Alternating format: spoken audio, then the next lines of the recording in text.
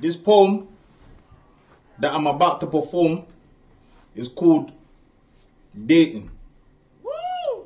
I wrote it when I was dating.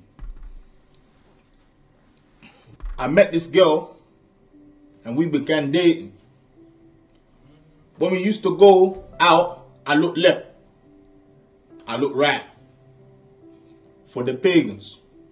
I got an itchy finger. Click, click. It's vibrating. One day I met her dad. And we were debating.